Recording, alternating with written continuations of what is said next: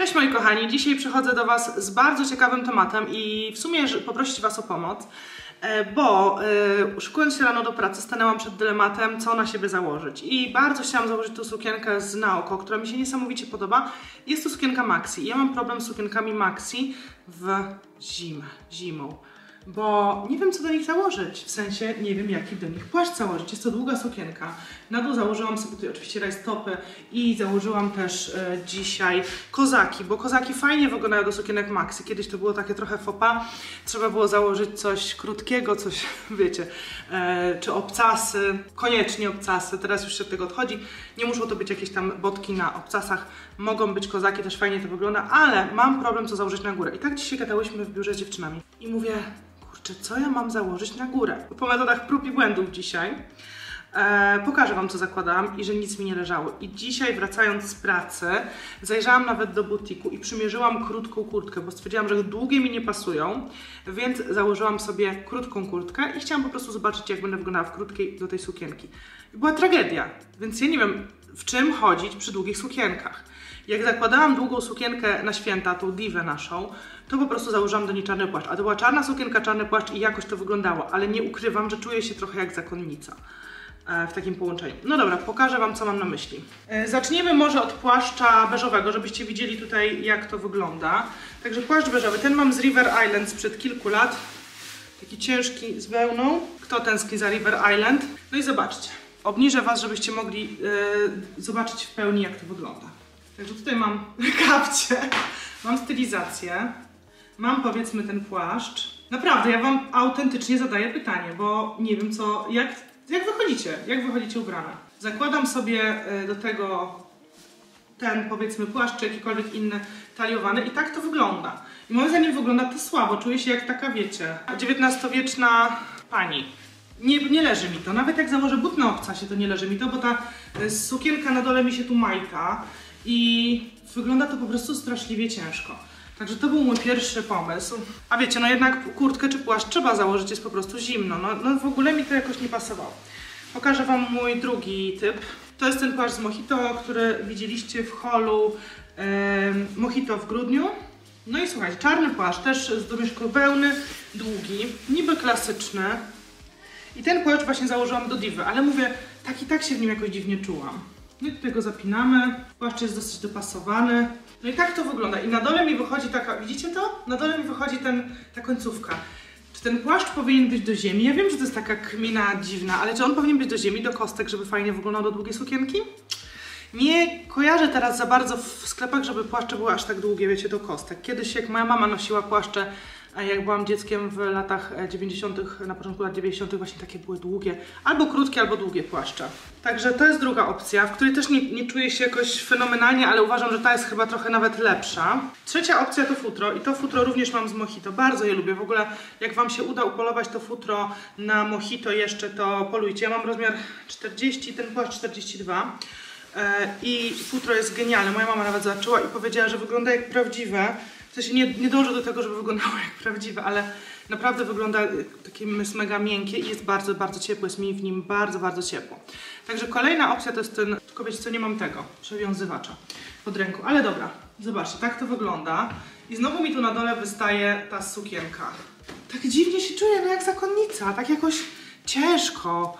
Nie wiem, nie, nie leży mi to, bo normalnie wiecie, gdybym latem szła w długiej sukience do, i założyła kurtkę wieczorem czy bluzę, to byłaby to krótka i to wygląda wtedy jak spódnica maxi, tak? I to ma sens. Natomiast tutaj w tych długich płaszczach, dajcie znać jak chodzicie. Czy chodzicie w ogóle w sukienkach maxi zimą, jesienią, zimą? Jak to u Was wygląda? Bo ja nie wiem jak stylizować tą sukienkę. Kolejna opcja to jest mój szaket. To to w ogóle wygląda najgorzej na świecie, ale stwierdziłam, że Wam pokażę. E, Ten akurat mam z Marksa i Spencera, tak go kocham. Za każdym razem jak go mam, to pytacie skąd on jest. Także wzięłam pod kolor, tutaj żeby się kolory zgadzały, brązy, beże i tak dalej. I on jest luźny, no nie? On jest luźny, można go zapiąć, nie trzeba, ale powiedzmy, że go zapnę. On jest taki oversize'owy. Tu na górze wygląda ok, ale zobaczcie jak wygląda dół.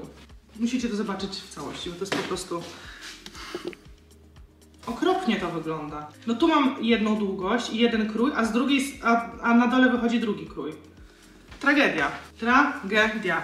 I dziewczyny mi mówiły dzisiaj to samo, że zakładając właśnie maxi sukienkę i płaszcz czuły się okropnie na przykład w święta. że każdy chce jak najszybciej zdjąć tą sukienkę. Nie mówię tutaj o parce, parka też będzie wyglądała tak samo okropnie. Pokażę Wam, co w końcu dzisiaj założyłam, bo tylko jechałam autem i do pracy i później gdzieś tam podjeżdżałam, więc nie potrzebowałam dużego płaszcza, no ale w zasadzie chciałabym coś ciepłego. E, I wzięłam sobie w końcu tego miśka z Pepko, które uwielbiam. I parę z Was mi napisało, że byliście zawiedzione, bo myślałyście, że kolor będzie ciekawszy. Bo jak dla mnie ten kolor jest bardzo ciekawy, bardzo ładny, no ale daję sobie sprawę, że niektórzy może wolą bardziej w brąz albo bardziej w szary, no nie wiem. Także założyłam sobie tego miśka. Będziecie się śmiać. I patrzcie jak to wygląda. Tragicznie.